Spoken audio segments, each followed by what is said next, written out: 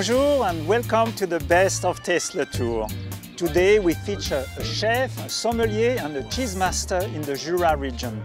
Each of them has been awarded the official title of one of the best artisans in France. I love this region and have often returned over the years. Respected chef Romuald Fassenet of restaurant Château du Mont-Joly has been awarded this special title of un des meilleurs ouvriers de France or MOF. I'm very proud today to be, to be MOF. It changed my life uh, after the contest, you know.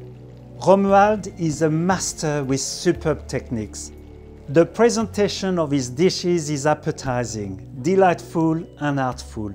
His desserts are of the highest level of finesse and elegance and the cheese selection is irresistible.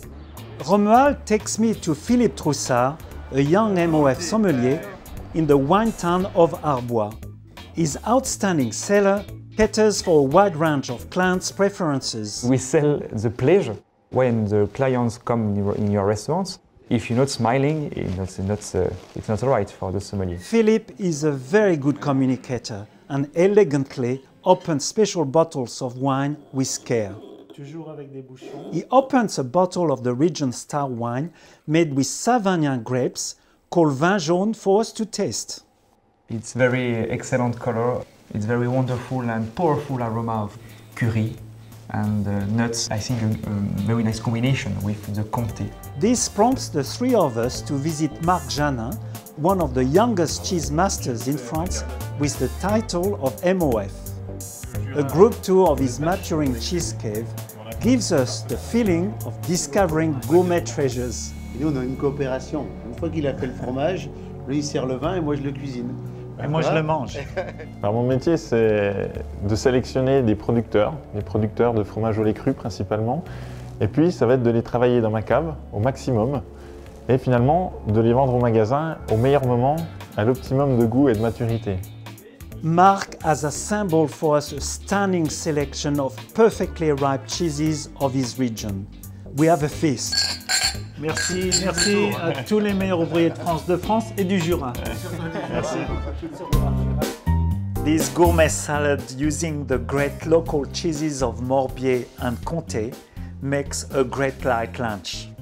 First, I mix a dressing with a little salt, pepper and mustard in a bowl with half a tablespoon of raspberry vinegar and 2 tablespoons of walnut oil. Next, I cut a few witloof leaves and green apple into small strips.